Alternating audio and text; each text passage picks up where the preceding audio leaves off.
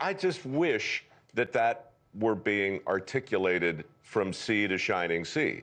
I wish it were being articulated in every high school. I said to you uh, in one of our earlier conversations, I can, I can tell a story anecdotally. I can tell you that, for instance, 35 of the people we featured on Dirty Jobs over the years were, were actually multimillionaires. Mm-hmm. No one knew it because nobody expects to see that multimillionaire covered with somebody else's crap or something worse, right? I mean, it's just, it, it didn't confirm our notion of success right? So what success looks like today is very fungible and it's and it's changing.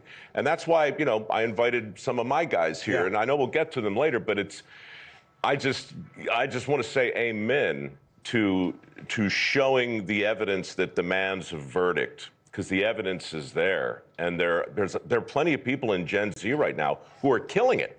They're prospering. They're making six figures, they have no debt, and they're wearing a tool belt and nobody's telling their stories. I think when we do, we're liable to see this whole thing tip. Yeah.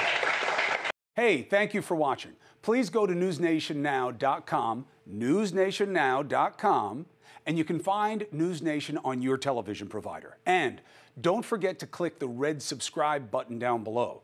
Then you will get more of News Nation's fact driven coverage.